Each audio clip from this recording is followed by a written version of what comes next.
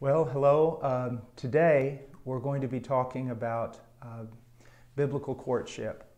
And um, the reason why I'm doing this is well, there are several reasons. The main one is that uh, we need to live our lives according to the Word of God and not according to the standards of this world. Also, um, I just have a great burden uh, for young people, for young men and young women, that they would walk in godliness. And, and not just in godliness, but that they would walk in joy. Because what we need to understand is that godliness, true godliness, will produce joy in our lives. And it brings so many blessings where sin simply destroys. It destroys everything that is beautiful, everything that is exceptional in our lives. So we need to learn with regard to relationships as young men and young women that uh, we must walk in godliness. We must discover what the will of God is, and we must walk in it by the power of the Holy Spirit. I guess I have a special burden for this because uh, until I was, I was converted when I was 21 years old, and prior to that time, I lived um, in a very ungodly manner and did a lot of ungodly things. And I still bear today the scars for many of the things that I've done. Although that, uh, although I've been pardoned, uh, it doesn't always remove the effects of, of your sin. I don't want you, as a young person, uh, to experience the hardships uh, of the sinner. What you need to understand is that the way of the sinner is not a way of joy, it is, it is a way of hardship. And ultimately, it's a way of death. Now, one of the things that young people have to deal with, probably more than anything, is, um, is the temptation with regard to uh, immorality, sexual immorality. We live in a culture that's literally filled with the perversion of all the good things that God has given us. Um, we're going to talk about biblical courtship. Now, before I say anything about this, I need to make a disclaimer. Um, there are a lot of books out there on courtship, and many of them are very good. But some of them, and some views of courtship, I think are, are extreme. Uh, people pulling principles uh, out of verses that really that's not the purpose of the text. Um, building this huge, almost legalistic idea of what you have to do in order to be biblical in, in seeking a mate. And um, I don't think that in the scriptures we have this full blown course of how to, uh, how to find a mate. But I do think that in the scriptures we have, have wonderful principles, general principles with regard to godliness, with regard to relationships that we can follow. And those things will keep us from harm and they will help us discern the will of God with regard to with a wife or a husband. Now, to start off, I'm, going to, I'm saying here that courtship is simply the biblical alternative to one of the most destructive practices in our Western culture. And what is that? Well, a thing that I refer to as, um, as recreational dating. You say, well, what is recreational dating? Well, it's, um, it's, it's dating. Uh, I don't want to be trite, but dating for fun. dating with no purpose, dating to um, receive certain things from a person of the opposite sex outside of the proper context of marriage. It's, it's entering into relationships in a, in a frivolous manner, only to entertain oneself, only to have a good time, but not thinking so much about the will of God and not thinking about the welfare of the person with whom we have that relationship, not thinking about the future and God's plan for our life. And so, recreational dating, I don't need to say a whole lot about it because even secular authorities realize the dangers of it, the things that have happened to our culture. We are not wild animals driven by instinct. We are not those who go out and seek all sorts of mates. We are believers in Jesus Christ. Our hearts have been changed. We believe that God has a plan for our life. We believe that even the very hairs of our head, they're numbered. We also believe that God has a specific plan, a specific mate, a specific wife or a specific husband for us. And we ought to be willing to wait for that. It shouldn't be a thing of bondage, but it should be something that we do with great expectation, a time of preparation, a time of usefulness in our singleness until God brings that person into our lives. Now, I want to start off by talking about a few things that, that I think are really important. First of all, plowing fertile ground for the teaching. We have to understand, before we even get started, what kind of people that, uh, that we are in our culture. What are the great influences in our culture today? And instead of just going to media and pointing out all kinds of things, I'd rather go to the scriptures and just allow the Lord to speak to us through what He's written. We must be aware of our present reality as a people. First of all, let's look at Judges 17:6.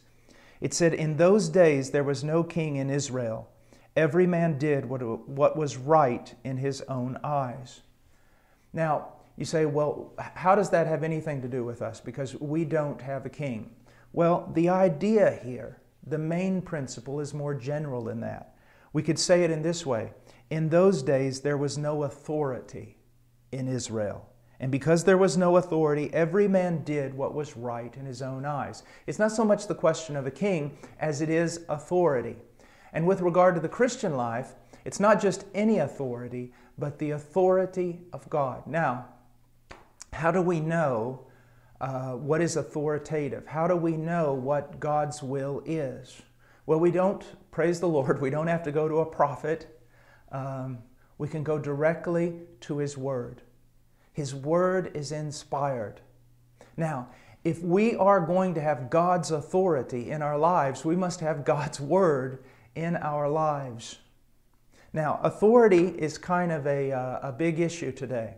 I'm uh, almost 50 years old, and so I grew up, at least in part, in the time of uh, kind of the hippie culture.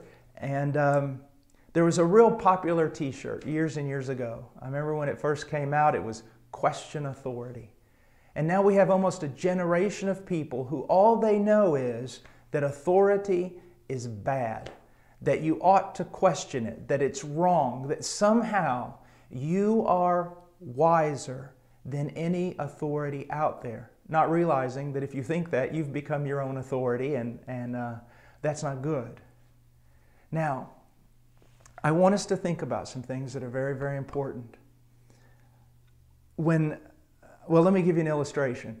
Um, I have done a lot of things in my life, a lot of, of pretty wild things. Been in very, very dangerous places, uh, in urban settings, very, very dangerous place, uh, places in the jungle and, and uh, during the time of social unrest and civil war in Peru and everything else, and been through all kinds of dangerous things, and I've come out pretty much whole. Now, how did I do that? Um, well, in the jungle, I have been in places where very few people have ever been. Um, how did I survive? It wasn't because I am Bear Grylls. It wasn't because I am Indiana Jones. As a matter of fact, you leave me in the jungle by myself for a few days, I'm probably not going to last very long. Well, how is it then that I was able that I was able to go into so many wild places and survive? Authority. Authority. When I was in the jungle, I was with the Aguaruna tribe. They were born in the tri- they were born in the jungle. They lived all their life in the jungle. They knew everything they needed to do to survive in the jungle. So how did I survive in the jungle? I did everything they told me to do. I submitted to their authority. I have a friend in Peru who was a terrible, terrible criminal before he was converted. He was in one of the worst prisons in the world. As a matter of fact, his name's Carlos Antisana, and he was one of the, he was like won the fighting mixed martial art boxing competition in the worst prison in, in just about South America. I mean, he's a tough guy. Well, when he got out of prison and was converted, um, he and I would go into some very dangerous places in, in inner city of Lima. Now, by myself, by myself, I wouldn't have survived a minute. But I was with him. Everyone knew him. Everyone was still scared of him. And he had more street smarts than just about anybody that I've ever known. And so, as long as I was with him, and as long as I did what he told me to do, I was okay. So you see, here's what I want you to see about authority. You've been told that authority will cramp your life, that authority will cramp your lifestyle. Th- that's just not true. Authority expands your lifestyle. Because I have submitted to authority, I've been able to do things and go places I never would have been able to go to, or at least if I went to them, I wouldn't have survived. You see, authority can be a good thing. Now, you have to make a choice. You can submit to God's authority, or you can do what is right in your own eyes. There's a popular saying that, uh, you know, live and learn. That's exactly the first, that is the first lie that Satan told Adam and Eve. God told them not to eat of the tree. Basically, what God was teaching is learn and live. Do what I tell you. You don't have to experience it. Just do what I tell you. If I say it's good, it's good. If I say it's bad, it's bad. Trust me on this. And then Satan comes along and says, No. He says, uh, um, Man, you got to experience this to know whether or not it's right or wrong. You need to live and learn. That's what you've been told, young man. That's what you've been told, young woman, all your life. Is you've got to experience it. You've got to taste. You just can't take authority as, as something of a standard or a norm or a truth to follow. Now, even though many of you who are listening to this, you believe the Bible is the Word of God, you must realize that there's still, because of your culture, there's this tendency in you to still do what is right in your own eyes. And you need to fight against that. You see, I like to put it this way um, Wisdom was not born with me, and wisdom will not die with me. It simply will not. You are not born wise. You are not born knowing what you ought to do.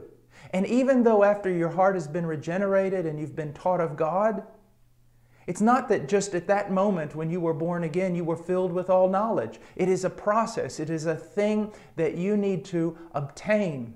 You need to study God's Word. But now, before you're going to be really be motivated to study God's Word, you've got to realize you have a need to study His Word. And you say, well, why? If you are convinced, if you are convinced that you don't know what you're doing, if you will humble yourself and admit, I do not know what I am doing, then you will be more motivated, more greatly motivated to go to God's Word.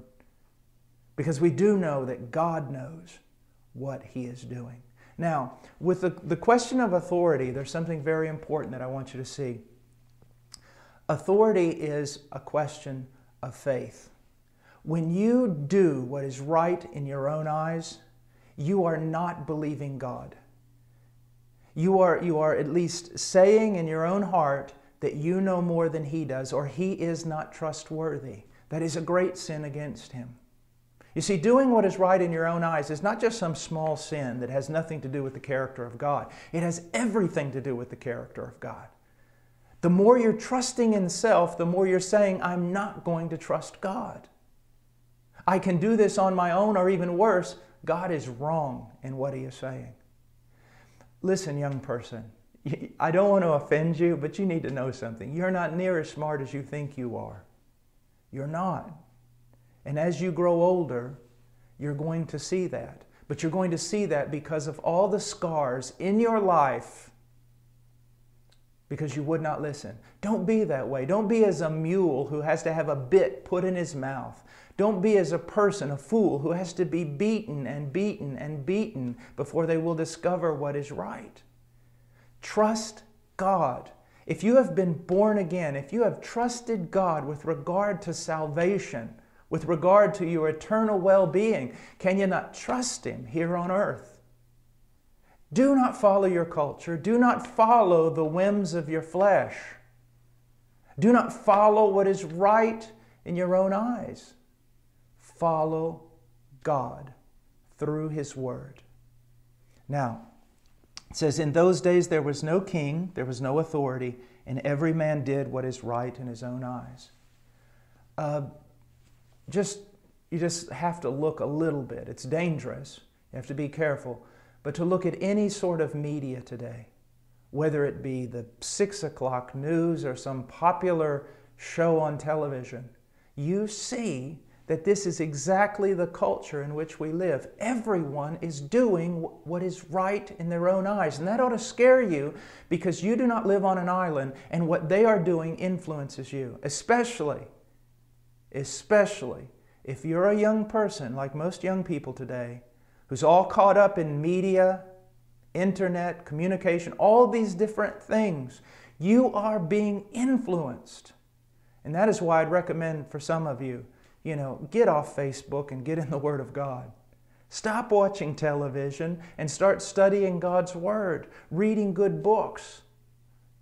If you're, if you're awake 16 hours a day, now as a young person, I don't know if, if you're awake that much, but as a young person, if you're awake 16 hours a day, those 16 hours you are being bombarded by the world. Do you understand that? Especially today, again, because you're so connected with every media source. You're being bombarded by the world. Your friends around you, even people in the church, even the, the lost people with, with which you come in contact, you're being influenced. Therefore, you must know hey, hold it.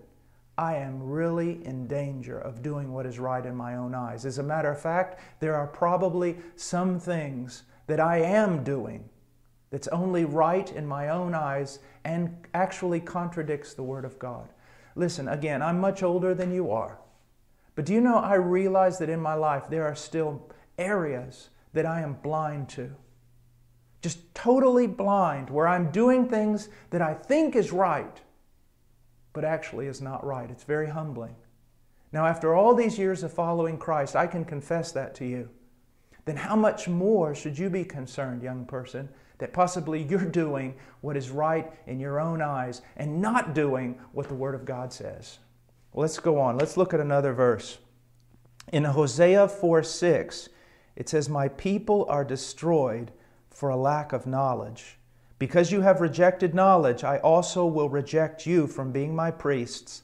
Since you have forgotten the law of your God, I also will forget your children. Now, the first thing I want you to see is my people are destroyed for a lack of knowledge. It's, it's true. It's, it's just one of the greatest truths today is that even though there's all kinds of stuff on the internet, even though, you know, there's Bible conferences for this, that, and everything else, by and large, if you were to compare, for example, the Christian, the modern evangelical in the West, um, to, let's say, the Puritan believers of days long past, you would see that our knowledge of the Word of God is scarce. And many of the things we think we know is not even true. You need the knowledge of God. You must begin realizing, I do not know what I'm doing. You must realize that you need the Word of God. Let me, let me give you an illustration. You know, David said that the Word of God was like a lamp to his feet, a light to his path. I want you to imagine that, that you're in a large room, maybe the size of a gymnasium. And um, all throughout that gymnasium or that room, uh, there are landmines planted on different planks of the floor. And all you have to do is step in the right place and you will end your life. Now, let, us realize, let's think that there are hundreds of these things planted on that gym floor and you're over in the corner and someone says, Come here. Now, if you don't know those landmines are there, you foolishly are just going to walk across that floor, and what's going to happen? Well, you're probably going to blow up. You're a fool. You, you have no knowledge of the dangers that are in front of you. But now let's say that you've been informed that you have been informed that you are standing in a corner, you've got to cross the gymnasium, and the whole floor is just lined with, with mines that you cannot see. Now what's going to happen? Well, if you're a reasonable person, you're going to be paralyzed with fear. You have no idea where they are, and you don't know what to do.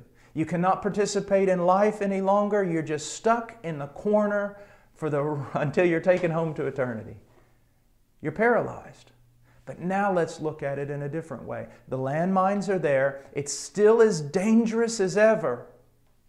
But you have a map in your hands, an accurate floor plan, something that tells you exactly where the dangers are and tells you exactly how to avoid them. It tells you look, two steps forward, stop.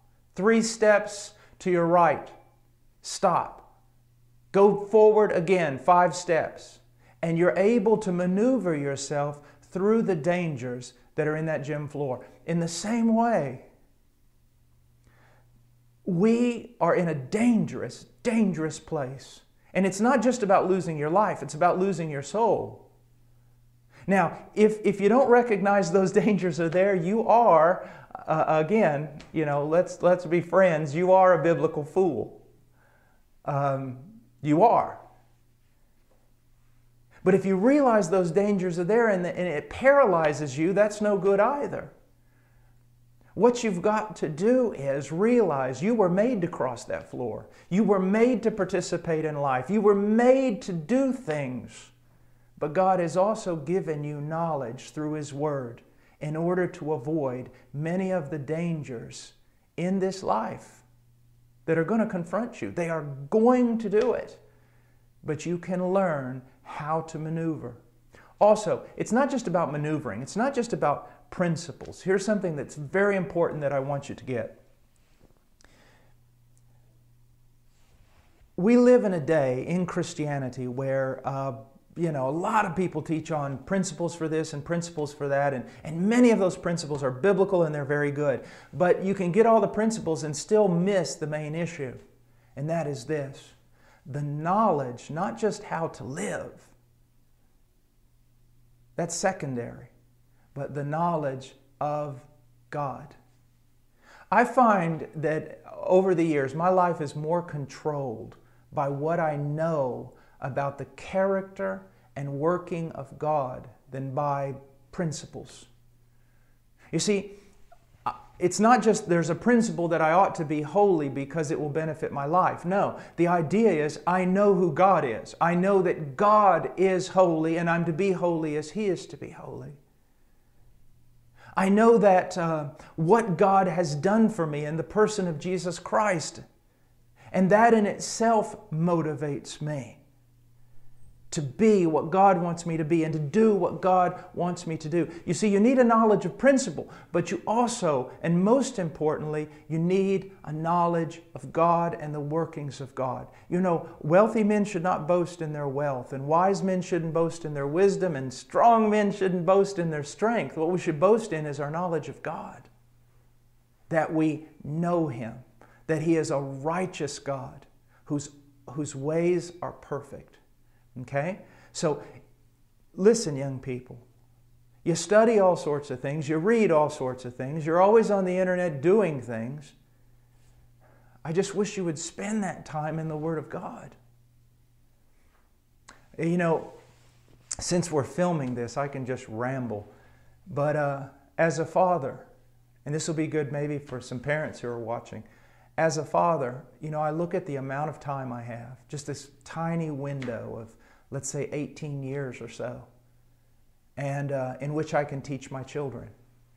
And you know, when I first became a father, man, I was looking for every every kind of book to help me and study manual and things I could go through with my children and and but every time I would take some material and start studying it with my children, you know, I would always have this fear that there's something missing, you know, there's something they need that I'm not giving them. And one day I just took the whole thing and just put it to the side and I said there's only one perfect book.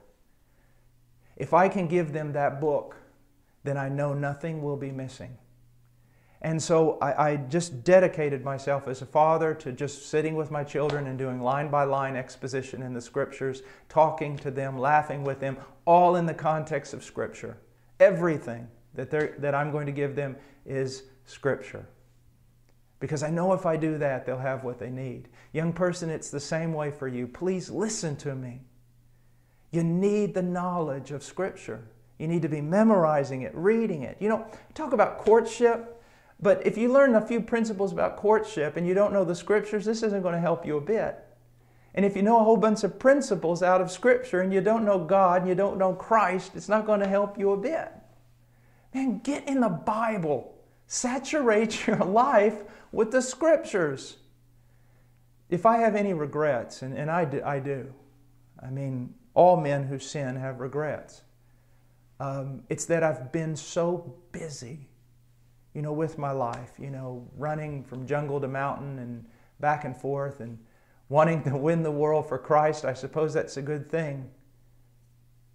But if I had spent more time in the Word and more time in prayer, uh, I would be a better servant of Christ today.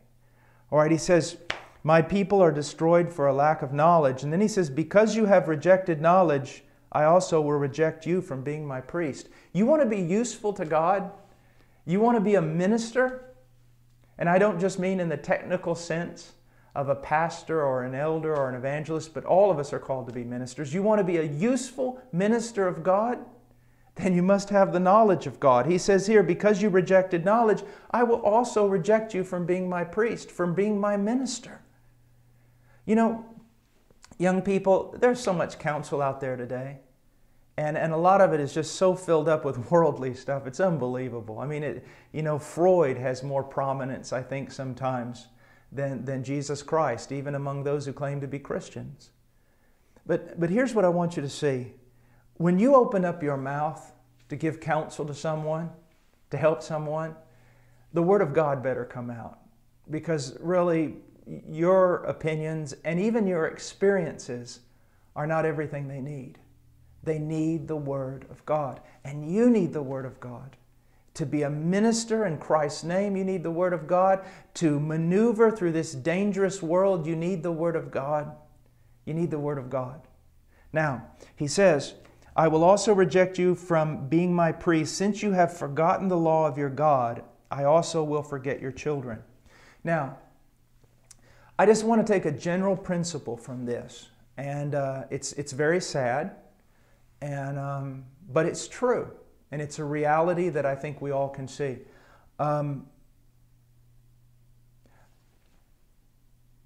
my father uh, was not a Christian, so and he did not spend any time with me teaching me the Word of God. So I, basically, when I became a Christian at 21, I was nothing more than a pagan. I went to Sunday schools, but there I just mainly painted pictures of Noah's Ark, I guess. Um, and so I became, I entered into adulthood, at least with regard to age, with almost no knowledge of God.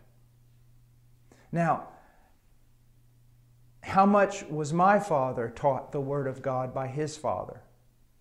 And we can just go on down the line and we see that uh, most young men, even those who are Christians, even those who may even come from a Christian family, have not really had the knowledge of God handed down to them. They've been, they've been sent to Sunday school, they've been sent to youth groups, uh, things like that, much of it just entertainment based, doing things to interest carnal children.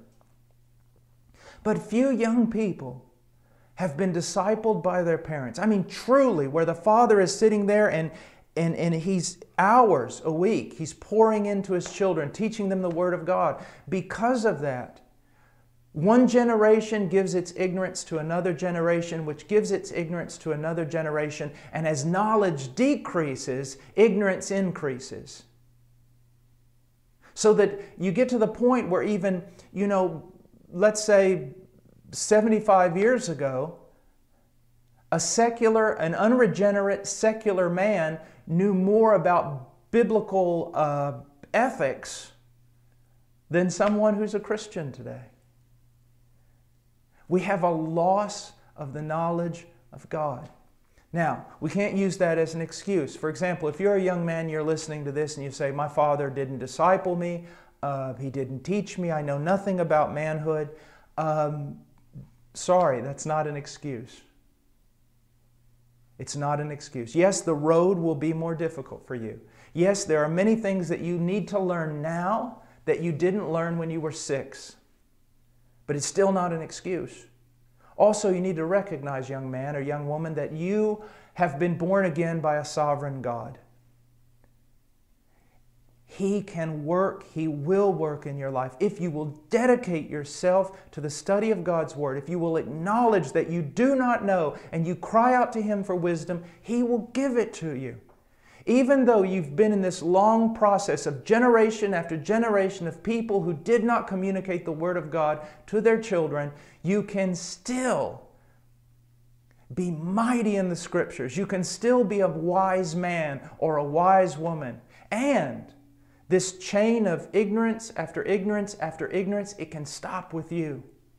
If you're a young man and you're sitting there and you say, Look, I want to know the Lord, I want to do what's right, then get in His Word and realize that that chain of ignorance is going to stop with you.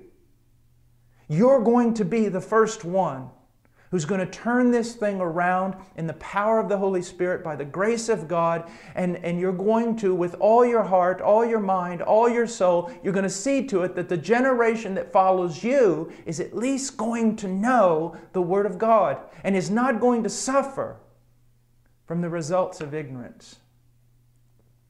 See, you've got a, you got a great thing going here. I mean, you can be a world changer, a family changer. You can change a lot of things, but it's going to require a lot of work, a lot of work. Getting in the Word of God prayerfully, crying out to God. But know this He's promised to help you, and He's promised to do more in you than you could ever ask or think. But we need the knowledge of God because present day, Isaiah said that he was a man of unclean lips and he dwelled among a people of unclean lips. We can say the same thing, but we can add this we are men who do not know. And we dwell among a people who do not know. But it can change. It can change. It can start with you. And, young person, I want you to realize something. What you do right now in your life is not only going to impact your generation, it's going to impact other generations that follow. Uh, I have gained so much benefit from generations that have preceded me, from older men that have discipled me, and from men like Spurgeon, Martyn Lloyd-Jones, the Puritans, Jonathan Edwards, others. You see, what you do, you investing in your life now will impact the world to come. What you do now will impact your children, will impact your future wife, will impact everything. You see, you, you're responsible. But that's a wonderful thing. You think about the sphere of influence you can have if you will just sell yourself out for Christ and dedicate yourself to being a man of God, knowing His Word. Well, let's go on. I want to look at another passage. It's in Isaiah chapter 1, verses 4 and 6. Now, listen to this. It's very, very sad. Alas, sinful nation, people weighed down with iniquity offspring of evildoers, sons who act corruptly. They have abandoned the Lord. They have despised the Holy One of Israel. They have turned away from him. Now, it says, Where will you be stricken again as you continue in your rebellion? The whole head is sick and the whole heart is faint. From the sole of the foot even to the head, there is nothing sound in it, only bruises, welts, and raw wounds, not pressed out or bandaged, not softened with oil. Boy, if that, if that is not a description of, of our culture, uh, it's just absolutely astounding. It, it's terrifying. It's, it's very, very sad. breaks our hearts, but it's true. Now let's just look at this. A sinful nation, people weighed down with iniquity, offspring of evildoers, sons who act corruptly. Now, is that not us? Do we not here in the West, even if you're looking at this from the third world, you have to say the same thing. We are a sinful nation. There is no Christian nation on this planet. We are in a sinful nation, and we've got to realize we should not be proud. We should not think that we live in the midst of all of this and yet it has had no effect on us. We should be constantly looking for ways in which this sinful nation in which we live, whether it's the United States, England, France, or Portugal, this sinful nation in which we live is having an impact some way upon our life. How is that? Well, the scary thing is that it also influences the way in which we even look at the Scriptures. We can have a tendency to interpret the Scriptures based upon our cultures, the sinful nation in which we live. Now, it says, Alas, sinful nation, people weighed down with iniquity. Here, here again, we go to this. Guys, sin is not fun. Sin does not bring with it blessing even lost people who do not know the Lord, who give themselves to sin in an unusual way, they are weighed down by it and eventually destroyed. You know, sometimes I hear preachers go, um, Boy, I tell you what, sin is fun, but it'll destroy you. Well, it'll destroy you, but I'm not sure a Christian ought to be saying things like sin is fun. You know, as Christians, we struggle against sin, we struggle with sin, and we do sin, and we are capable of falling. But even in the midst of our sin, we quickly discover it's not fun. Not only does it destroy us, it's nauseating. For a person who has truly been, repre- re- truly been regenerated by the Holy Spirit, sin is, uh, is no fun. It's no fun. It will weigh you down, it will destroy you. Now, when we talk about relationships, when sin enters into that relationship that you want to cultivate with that person of the opposite sex, when sin enters in, it will not uh, bless the relationship. It will not bring happiness to the relationship. It will weigh it down and even destroy it. Now he says, offspring of evildoers, sons who act corruptly. Now, now that's an encouraging statement. Uh, but there's a sense in which it's true in many ways. First of all, um, I realized something. Um, I inherited the fallenness of my father, Adam. And um, that's something that has to be combated. It is combated by Christ through Calvary, through the regenerating work of the Holy Spirit. But even though I am born again, uh, there is something that remains in me that's called the flesh that battles against the Spirit, it battles against righteousness. I must constantly fight against this thing that is within me. It doesn't define me. I am a saint, I am a child of God.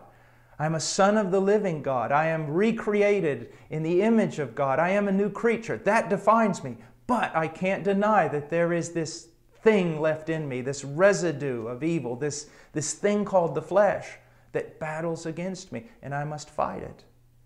Also, though, I must realize that as I inherited from Adam a corrupt nature, so my children have inherited a corrupt nature from me. That is why I'm so passionate about preaching the gospel to them, because the gospel is the only way that is going to be overcome.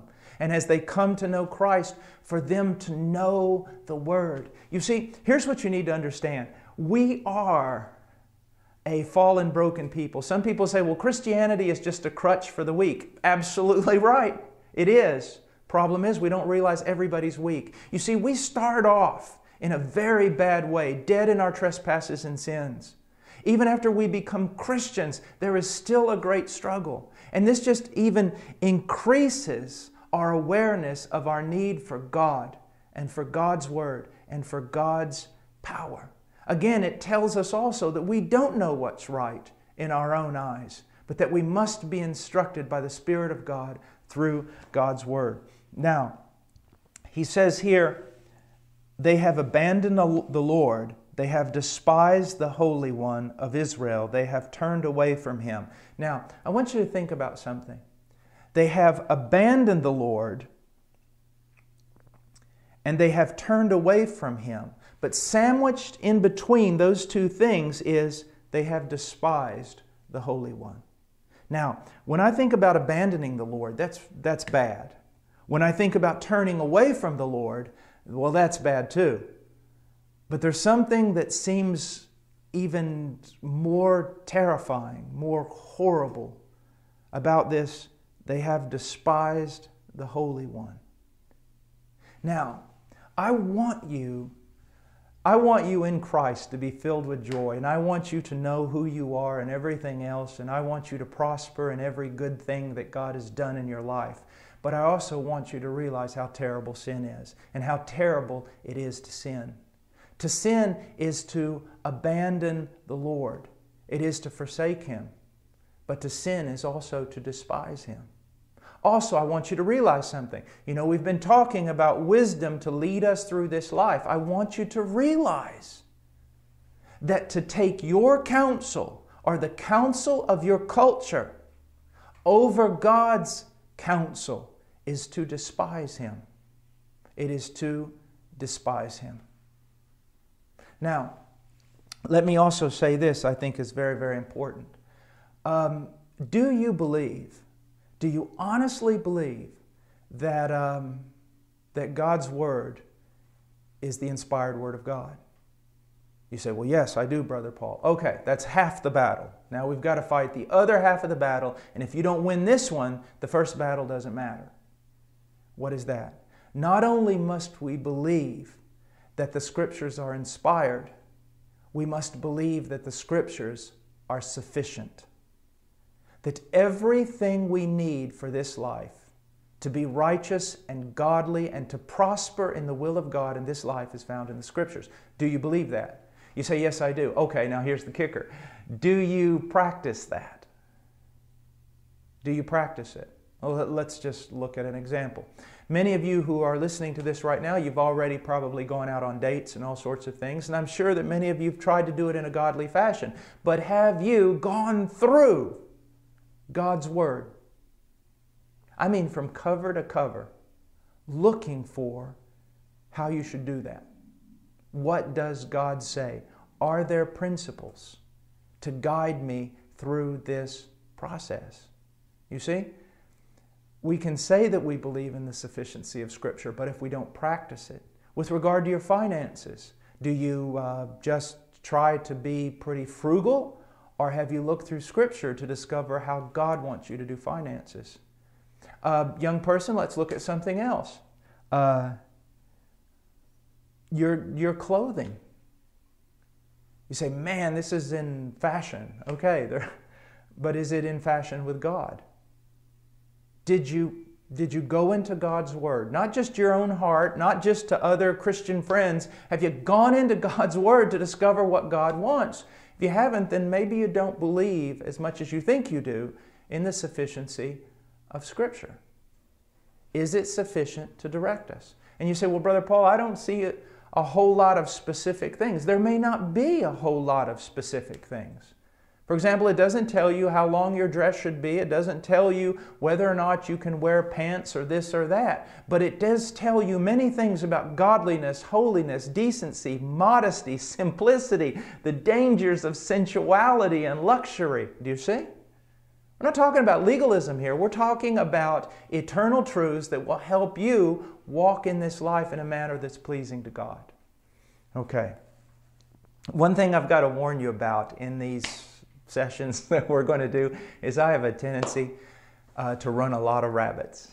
And, uh, but I guess it's, it's my camera, so I can, I can do that if I want. All right, well, let's, let's keep looking. He says, Where will you be stricken again as you continue in your rebellion? The whole head is sick and the whole heart is faint. From the sole of the foot even to the head, there is nothing sound in it, only bruises, welts, and raw wounds, not pressed out or bandaged, not softened with oil. Wow, that's just a description, not just of our economy, but of about everything in our nation today, in our culture, all around the world. And rather than look to God for an answer, we just keep pressing on to destruction. We're like a bunch of foolish people dressed up in clown suits, banging loud cymbals, and all marching in a line right off of a cliff. While God stands there all day long holding out his hands to an obstinate people.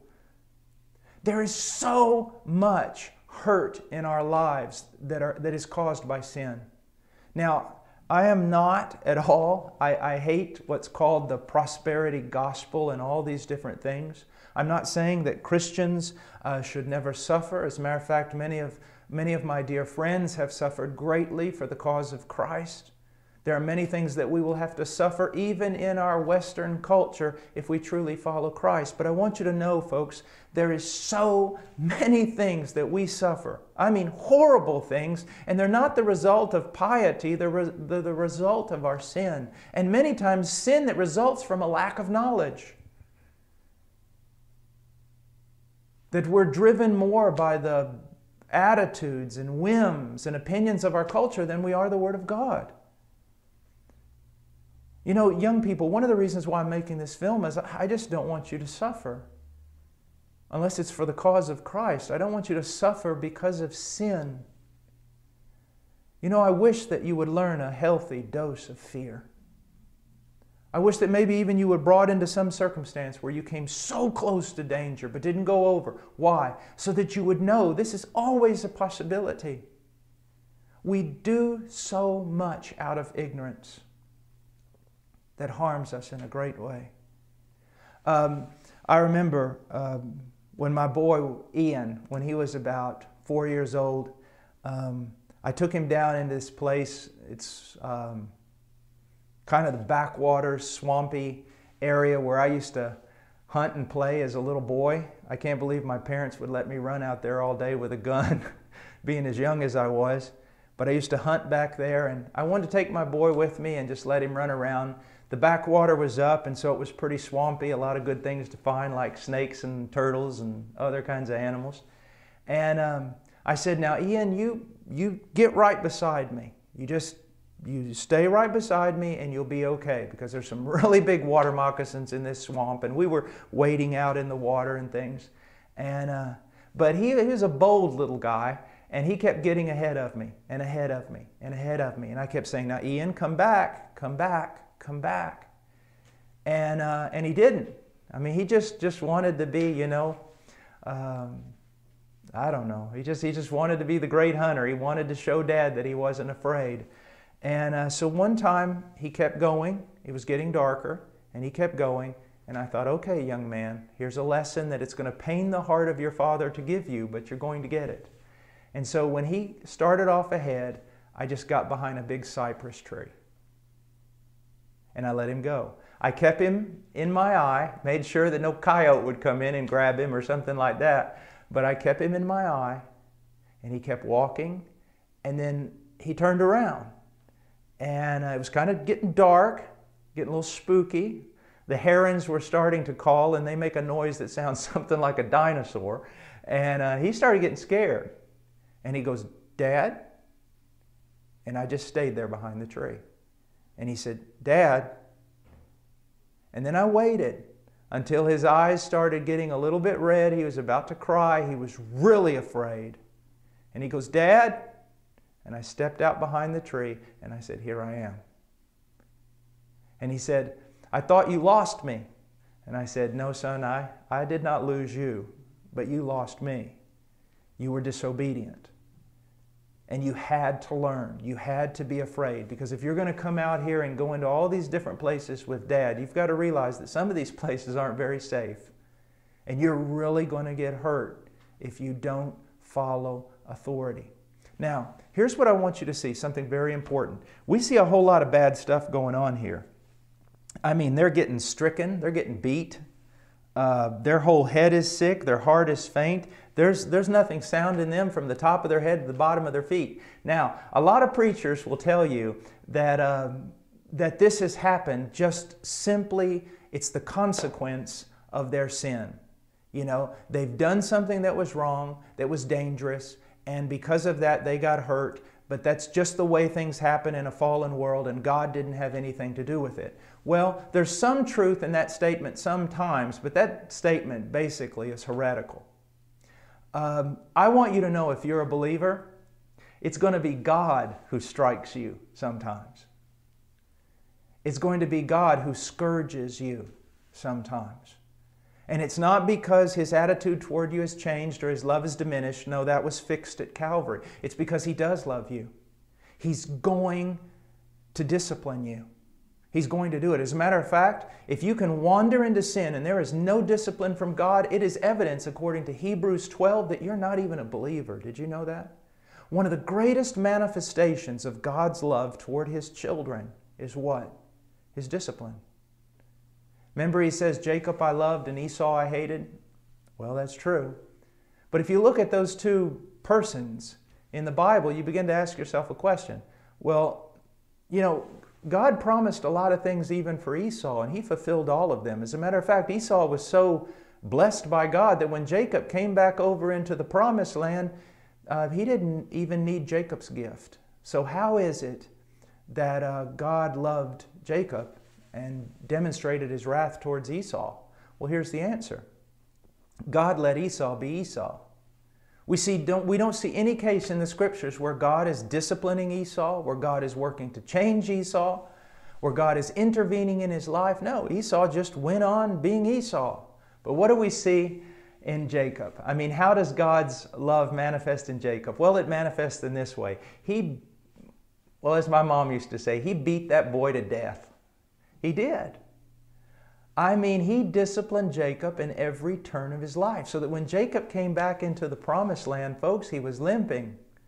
He was limping. You know, um, I've had a. I've had both hips replaced, and my wife always reminds me if I wasn't as disobedient as Jacob, God wouldn't have had to touch my hips and make me limp.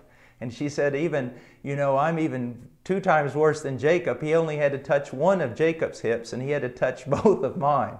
I don't know how much truth is in that, but I do know this God has disciplined me in my life several times. It's always been because of His love, and it's always led to my good. If you are a believer, if you truly belong to Christ, you're not your own. And He is going to take a hold of you. He is. And man, sometimes, honestly, it'd be better to get in a bear fight. A bear would be much easier to handle. I love what C.S. Lewis says. He, um, he's not a tame lion. He's dangerous. He's not safe, but he is good. Uh, one of the markings, I think, of uh, at least the old men of God that I used to know is they looked like men who had been mauled by God. Uh, and I only hope that happens to you. That you might be conformed to the image of Christ and that you might glow with Him. All right, well, Let's go on.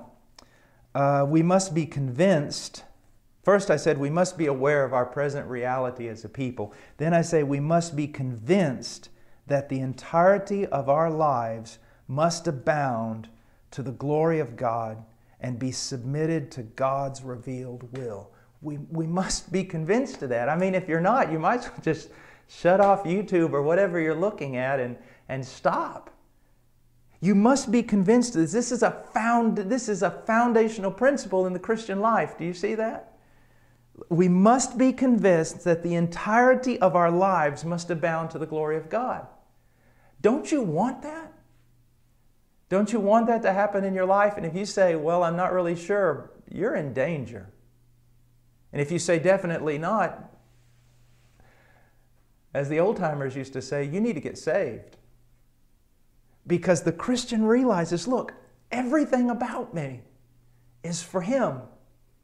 And I want it to be that way, and I'm happy when it's that way, and I'm only sad and disgusted when it's not that way.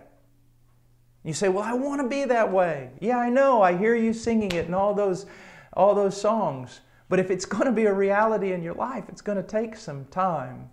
And it's going to take you being in God's Word, and it's going to take you praying seeking God that these things might become realities. Now, let's look at some beautiful verses that I just I really like.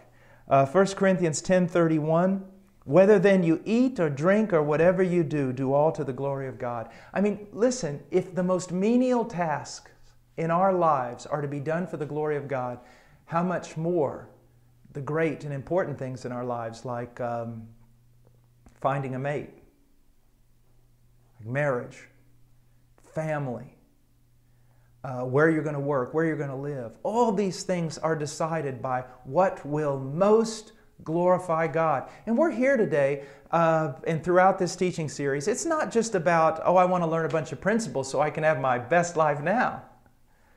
No. I want to learn how to glorify God. I want to do that. Brings me joy, satisfaction. So, whatever you do, whether you eat or drink or whatever you do, do all to the glory of God. A friend of mine asked T.W. Hunt one time, uh, just a wonderful man of God and a man of prayer, asked him, How much did Jesus eat? You know, I, I guess that's an unusual question, but I guess it's a good one. How much did Jesus eat?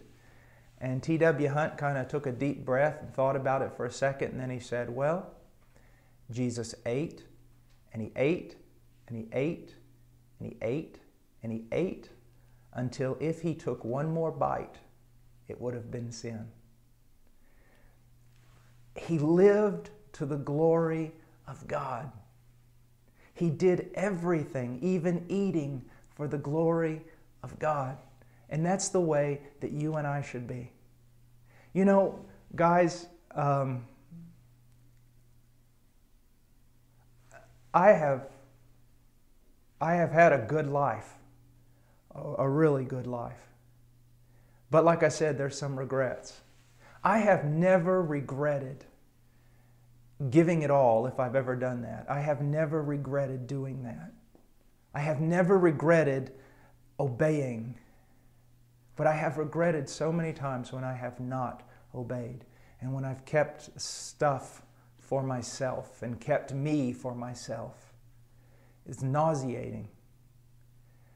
Listen, you don't want to be a nauseous old man. You want to live for His glory. And you want to do this thing of courtship and marriage and, and all of this for His glory. Because in the end, even if you suffer terribly and nothing turns out the way you had hoped, you'll have the joy of knowing that you lived your life for the glory of God. And that's all that matters. That's all that matters. Because here's something real important. I, am not telling you that if you, um, if you do all these principles, you're going to get the greatest wife or greatest husband in the world and have the greatest marriage and everything's going to go perfect. No, not at all. I'm telling you these things so that with your decisions and your actions, you can glorify God.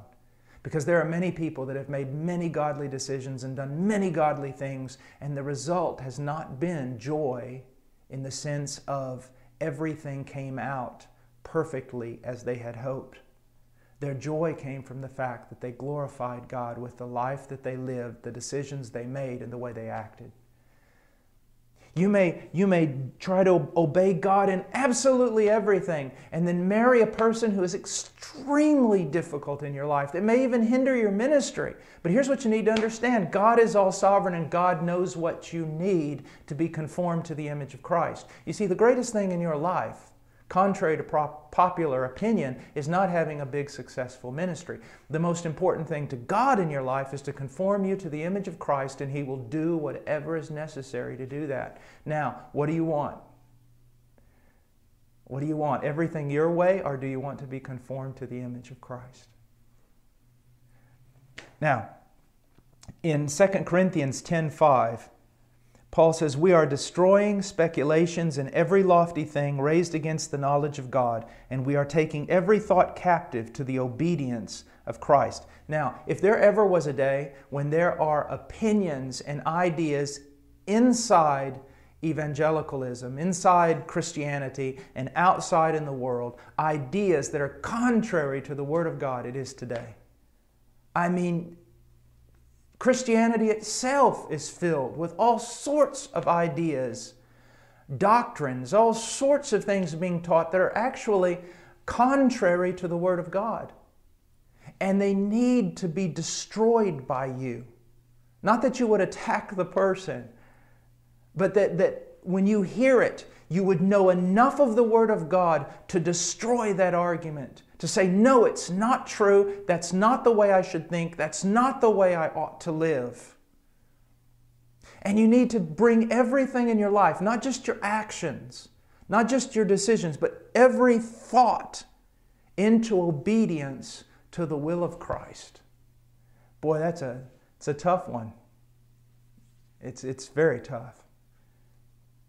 And I haven't attained that. I don't know anyone who has. But what do we do? We lay behind us what is behind us and we press on. We press on to be more biblical and more biblical and more biblical, more pleasing to God, more God glorifying. Now, in 2 Timothy 3 16, 17, and that's where we'll finish uh, for today, it says, all scripture is inspired by God and profitable for teaching, for reproof, for correction, for training in righteousness, so that the man of God may be equipped for every good work. What we have here is what I've been saying throughout this whole uh, time teaching is that we must believe in two things, and both those things are found here that the scriptures are inspired, that they are um, the infallible, um, completely, totally trustworthy Word of God. But not just that, that they're sufficient. They are sufficient for everything in the Christian life. I don't need to hire a marketing strategist to tell me how I ought to start a church. I don't need someone to come in from secular psychology and tell me how to think. I don't need to even borrow their ideas.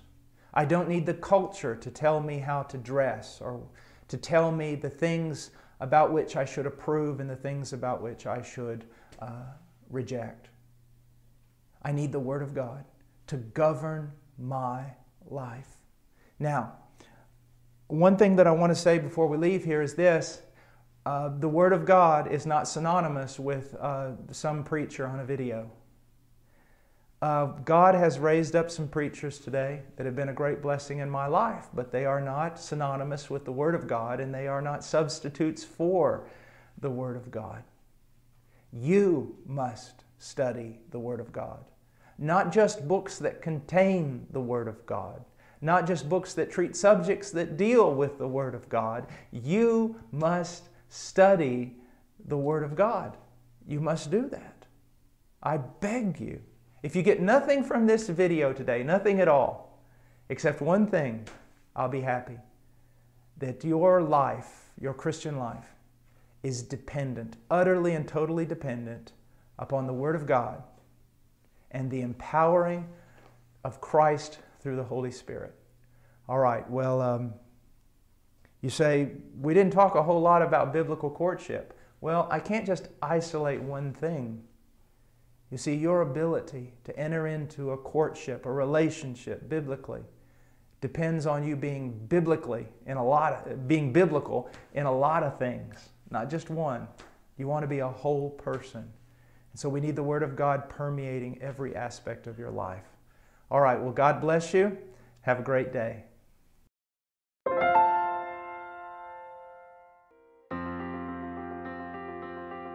Please visit our website at heartcrymissionary.com. There you will find information about the ministry, our purpose, beliefs, and methodologies, and extensive information about the missionaries we are privileged to serve.